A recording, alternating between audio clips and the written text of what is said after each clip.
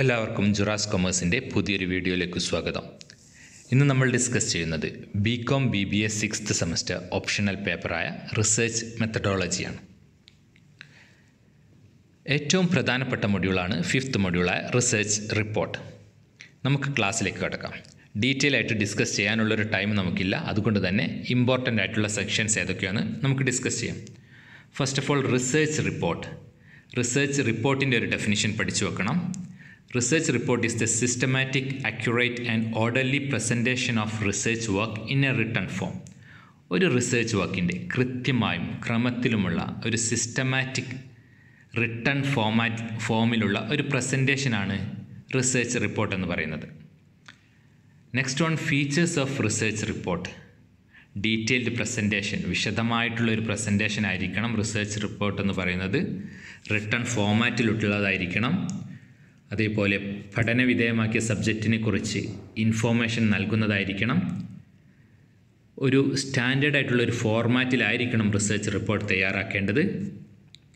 അതേപോലെ ഫ്യൂച്ചറിലേക്കുള്ള റെക്കമെൻഡേഷൻസ് ഉൾപ്പെടുത്തിയിട്ടുള്ളതായിരിക്കണം റിസർച്ച് റിപ്പോർട്ട് ഇത്രയും കാര്യങ്ങളാണ് ഫീച്ചേഴ്സ് ഓഫ് റിസർച്ച് റിപ്പോർട്ട് മറ്റൊന്ന് functions of research report means of presentation research present ചെയ്യാനുള്ള ഒരു ഉപാധിയാണെന്ത്? റിസർച്ച് റിപ്പോർട്ട് കൂടാതെ റെഫറൻസ് മെറ്റീരിയലായിട്ട് യൂസ് ചെയ്യാം. ചെയ്ത റിസർച്ചിന്റെ ക്വാളിറ്റി ജഡ്ജ് ചെയ്യാം. നമുക്ക് റിസർച്ച് റിപ്പോർട്ട് വെച്ച്. അതേപോലെ റിസർച്ച് അബിലിറ്റി വിലയിരുത്താൻ നമുക്ക് റിസർച്ച് റിപ്പോർട്ട് ഉപകരിക്കും. അതേപോലെ പ്രൊവൈഡ്സ് നോളജ് നോളജ് പ്രൊവൈഡ് ചെയ്യാൻ വേണ്ടി. Next one importance and significance of research report first one knowledge transfer knowledge transfer ചെയ്യാനാണ്. അതാണ് അതിന്റെ പ്രധാനമായിട്ടുള്ളൊരു സിഗ്നിഫിക്കൻസ് എന്ന് പറയുന്നത്. മറ്റൊന്ന് നോളജ് ഗ്യാപ്പ് എവിടെയൊക്കെയാണെന്നുള്ളത് ഐഡന്റിഫൈ ചെയ്യാൻ സാധിക്കും. കൂടാതെ പല വിഭാഗത്തിലുള്ളവരുടെയും നീഡ് സാറ്റിസ്ഫൈ ചെയ്യാൻ റിസർച്ച് റിപ്പോർട്ട് കൊണ്ട് ഉപകരിക്കും.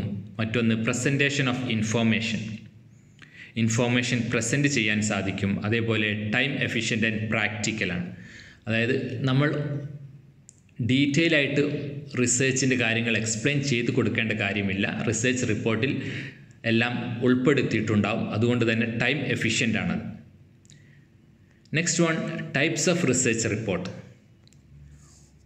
on the basis of nature of research റിസർച്ചിന്റെ സ്വഭാവം പരിഗണിച്ച് രണ്ട് തരത്തിലാണ് ക്ലാസിഫൈ ചെയ്തിട്ടുള്ളത്. Qualitative research report and quantitative research report qualitative research report എന്ന് പറയുന്നത് അത് ഡിസ്ക്രിപ്റ്റീവ് ആയിരിക്കും.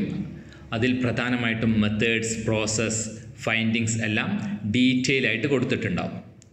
മറ്റൊന്ന് ക്വാണ്ടിറ്റേറ്റീവ് റിസർച്ച് റിപ്പോർട്ട് അതിൽ കൂടുതലും ക്വാണ്ടിറ്റിക്കാണ് ഇമ്പോർട്ടന്റ് പ്രധാനമായും ചാർട്ട് നമ്പേഴ്സ് എല്ലാം സ്റ്റാറ്റിസ്റ്റിക്കൽ വാല്യൂസ് എല്ലാം ആയിരിക്കും ഇതിൽ പ്രധാനമായിട്ടും ഉൾപ്പെടുത്തിയിട്ടുണ്ടാവുക.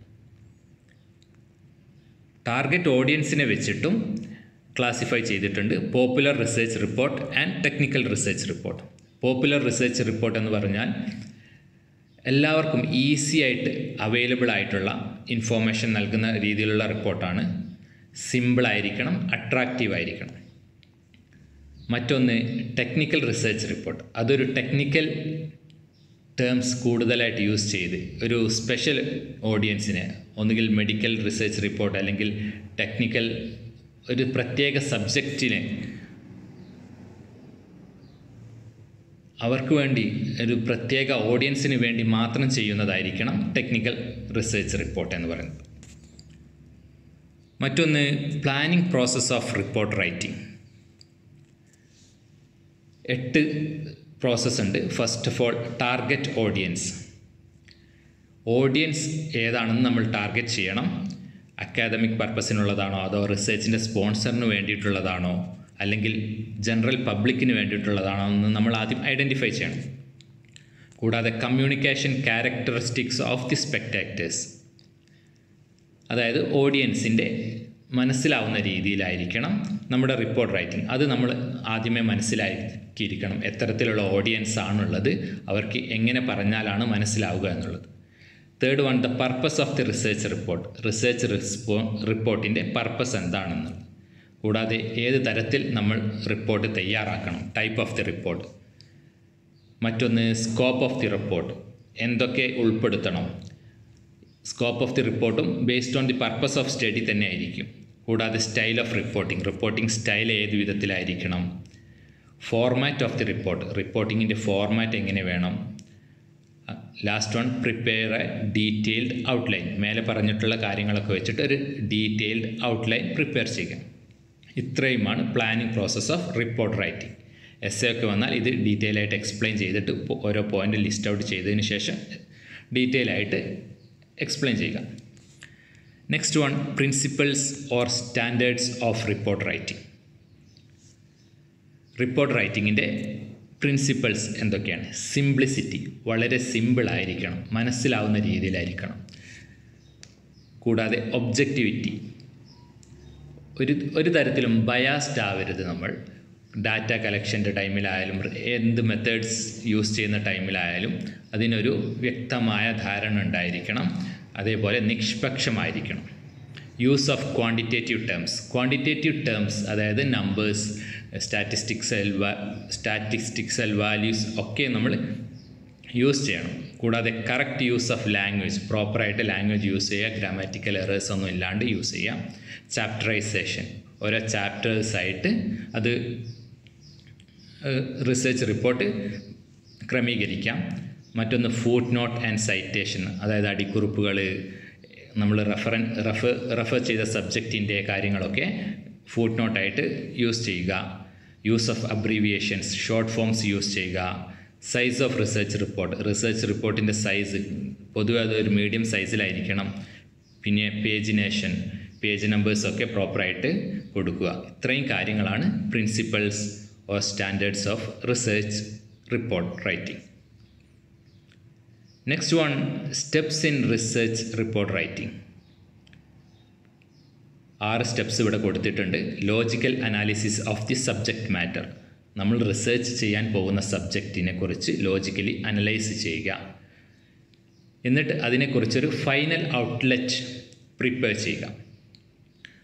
ആ ഔട്ട്ലെറ്റിൽ നിന്നായിരിക്കും നമ്മുടെ റഫ് ഡ്രാഫ്റ്റ് പ്രിപ്പയർ ചെയ്യേണ്ടത്. അതാണ് next step preparation of the rough draft fourth one rewriting and polishing rough draft prepare ചെയ്തതിന് ശേഷം അത് പ്രോപ്പറായിട്ട് നല്ല ലാംഗ്വേജസ് ഒക്കെ യൂസ് ചെയ്തുകൊണ്ട് റീറൈറ്റ് ചെയ്യുക പോളിഷ് ചെയ്തെടുക്കുക. Finally preparation of the final bibliography references ഒക്കെ മെൻഷൻ ചെയ്തുകൊണ്ട് ബിബ്ലിയോഗ്രാഫി പ്രിപ്പയർ ചെയ്യുക. ലാസ്റ്റ് സ്റ്റെപ്പാണ് writing the final draft final draft prepare ചെയ്യുക. ഇത്രയുമാണ് steps in research report writing ഇനി നമ്മൾ വളരെ ഇമ്പോർട്ടന്റ് ആയിട്ടുള്ള ഒരു സെക്ഷനാണ് research report format research report ഫോർമാറ്റിൽ എന്തൊക്കെയാണ് അടങ്ങിയിരിക്കേണ്ടത്? ത്രീ പാർട്സ് ആണുള്ളത്.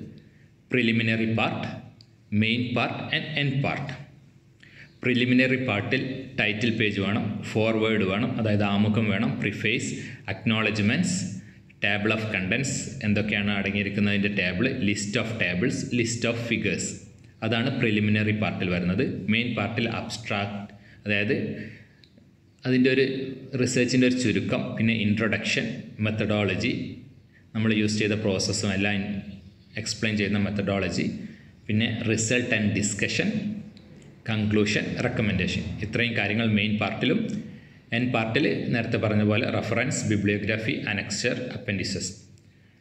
Essay വന്നു കഴിഞ്ഞാൽ ഓരോന്നും ഡീറ്റെയിൽ ആയിട്ട് എക്സ്പ്ലെയിൻ ചെയ്ത് കൊടുക്കുക. ആദ്യം ടേബിളൊക്കെ വരച്ച് ഇത്രയും പോയിന്റ്സ് ഒക്കെ പറഞ്ഞതിന് ശേഷം ഓരോ പോയിന്റും എക്സ്പ്ലെയിൻ ചെയ്ത് കഴിഞ്ഞാൽ ഫുൾ മാർക്കും നിങ്ങൾക്ക് ലഭിക്കും.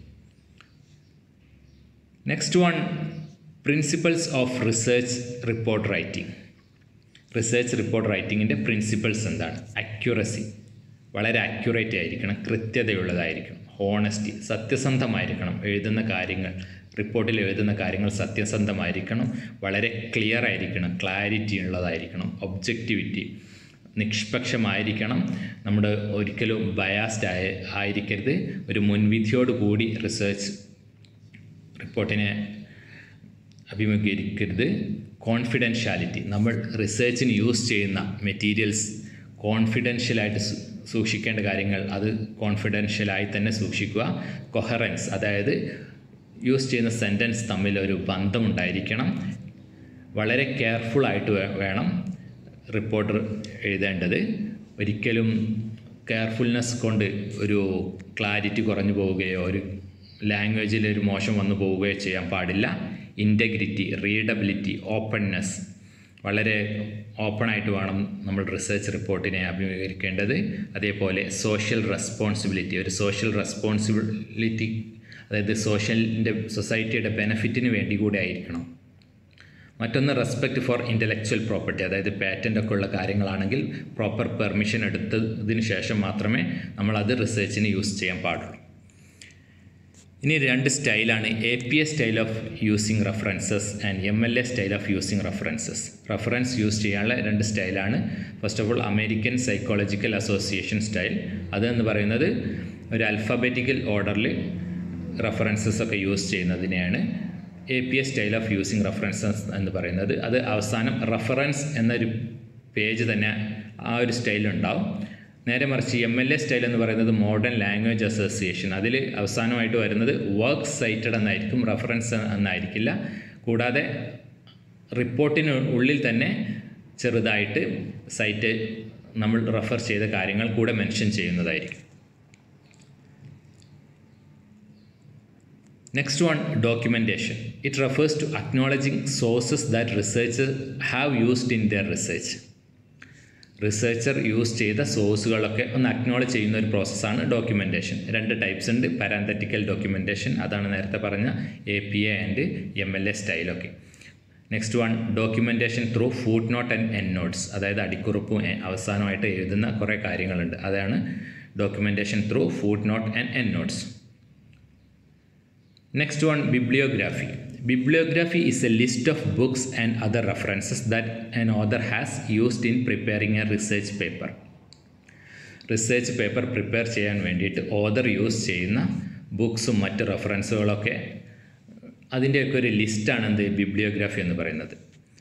ത്രീ ടൈപ്സ് ഓഫ് ബിബ്ലിയോഗ്രാഫി ഉണ്ട്. Selected bibliography complete bibliography annotated bibliography selected എന്ന് പറയുന്നത് വളരെ സെലക്റ്റഡ് ആയിട്ടുള്ള റെഫറൻസ് മാത്രം മെഷർ മെൻഷൻ ചെയ്തുകൊണ്ടുള്ള ഒരു ബിബ്ലിയോഗ്രാഫിയാണ് കംപ്ലീറ്റ് എന്ന് പറഞ്ഞു കഴിഞ്ഞാൽ നമ്മൾ എന്തൊക്കെ റെഫർ ചെയ്തോ അതെല്ലാം ഉൾപ്പെടുത്തിക്കൊണ്ടുള്ള ഒരു ബിബ്ലിയോഗ്രാഫി അനോട്ടേറ്റഡ് എന്ന് പറയുമ്പോൾ കുറച്ച് ഓരോ റെഫറൻസിലും നമ്മൾ കുറച്ചുകൂടെ ഡീറ്റെയിൽ ആയിട്ട് ആ ബിബ്ലിയോഗ്രാഫിയിൽ കൊടുക്കുക. ആ ടേംസ് പോലും നമ്മൾ എക്സ്പ്ലെയിൻ ചെയ്യുന്ന കാര്യം പോലെയാണ് ബിബ്ലിയോഗ്രാഫി കൊടുക്കുക. അതാണ് annotated bibliography next one foot note foot note is a reference explanation or comment placed at the bottom of a page or at the end of the main text. അതായത് ഏതെങ്കിലും ഒരു വേർഡിന് explanation വേണമെന്നുണ്ടെങ്കിൽ അതിന്റെ explanation ആ പേജിന്റെ തന്നെ അടിയിൽ കൊടുക്കുന്നതിനെയാണ് food not എന്ന് പറയുന്നത്. Typing the report the following point should be taken into account while writing report ഇത്രയും കാര്യങ്ങൾ റിപ്പോർട്ട് റൈറ്റ് എഴുതുമ്പോൾ നമ്മൾ ശ്രദ്ധിക്കേണ്ടതുണ്ട്. സൈസ് ആൻഡ് ഫിസിക്കൽ ഡിസൈൻ അതിന്റെ സൈസ് പിന്നെ procedure layout treatment of quotation foot note use of statistics chart and graphs final draft ഇത്രയും കാര്യങ്ങൾ ശ്രദ്ധിക്കുക. ഡീറ്റെയിൽ ആയിട്ട് അതൊന്നും പറയുന്നില്ല. കൂടാതെ bibliography and preparation of the index ഉള്ളടക്കം. പിന്നെ ബിബ്ലിയോഗ്രഫി നേരത്തെ പറഞ്ഞതുപോലെയുള്ള കാര്യങ്ങൾ എല്ലാം ഉൾപ്പെടുത്തി. ഇത്രയും കാര്യങ്ങളാണ് റിപ്പോർട്ട് എഴുതുമ്പോൾ ശ്രദ്ധിക്കേണ്ടത്. Next one briefing It is an oral presentation of the research to share the findings and research implication to the interested parties briefly. റിസർച്ചിന്റെ കണ്ടെത്തലും ഫൈൻഡിങ്സും അതേപോലെ റിസർച്ചിന്റെ ഇംപ്ലിക്കേഷൻസും ഒരു ഇൻട്രസ്റ്റഡ് പാർട്ടീസിന് നമ്മൾ ഓറലി അതായത് നമ്മൾ പ്രസന്റ് ചെയ്യുന്നതിനാണ് ചുരുക്കി പ്രസന്റ് ചെയ്യുന്നതിനാണ് എന്ന് പറയുന്നത് ബ്രീഫിംഗ് അല്ലെങ്കിൽ റിസർച്ച് ബ്രീഫിംഗ് എന്ന് പറയുന്നത് Evaluation of research report. It is a process in which purpose of research methodology, data collection, analysis are related to ascertain their relevance, value, and their ability to achieve research objectives and to ascertain the significance of a research. ഒരു research അതിന്റെ objectives ഒക്കെ achieve ചെയ്തിട്ടുണ്ടോ എന്ന് വിലയിരുത്തുന്നതിനെയാണ് evaluation of research report എന്ന് പറയുന്നത് Criteria for evaluation of research report research report evaluate ചെയ്യാനുള്ള criteria എന്തൊക്കെയാണ്? അത് ഡീറ്റെയിൽ ആയിട്ട് ഇവിടെ കൊടുത്തിട്ടുണ്ട്. Introductory chapter review of literature objectives and hypothesis choice of research design choice of variables research instrumentation sample data collection and analysis findings and implications summary and conclusions references annexure and general indicators ഇത്രയുമാണ് evaluation of research റിപ്പോർട്ടിന്റെ criteria okay ഇതിന് explanation കൂടുതലായിട്ട് പറയുന്നില്ല. ആവശ്യമുള്ളവർ comment ചെയ്ത് കഴിഞ്ഞാൽ ഞാൻ explain ചെയ്തു തരാം. നേരത്തെ പറഞ്ഞതുപോലെ വളരെ ഇമ്പോർട്ടന്റ് ആയിട്ടുള്ള ഒരു ടോപ്പിക്കാണ് ഒരു മൊഡ്യൂളാണ് റിസർച്ച് റിപ്പോർട്ട് എന്ന് പറയുന്നത്. എസ് എ ഉൾപ്പെടെ. മാക്സിമം ക്വസ്റ്റ്യൻസ് ഈ ഒരു മൊഡ്യൂളിൽ നിന്ന് നിങ്ങൾക്ക് എക്സ്പെക്റ്റ് ചെയ്യാം. അതുകൊണ്ട് തന്നെ നന്നായിട്ട് പ്രിപ്പയർ ചെയ്ത് തന്നെ എക്സാമിന് പോവുക. ഈ ഒരു ക്ലാസ് നിങ്ങൾക്ക് യൂസ്ഫുൾ ആയിട്ടുണ്ടെങ്കിൽ കമന്റ് ചെയ്യുക. അതേപോലെ തന്നെ നിങ്ങളുടെ ജൂനിയേഴ്സിനും നമ്മുടെ യൂട്യൂബ് ലിങ്കും ടെലഗ്രാം ലിങ്കും ഒക്കെ ഷെയർ ചെയ്ത് കൊടുക്കുക. എല്ലാവർക്കും നല്ലൊരു ഭാവി ആശംസിക്കുന്നു. അതോടൊപ്പം തന്നെ എല്ലാവിധ വിജയ ആശംസകളും താങ്ക്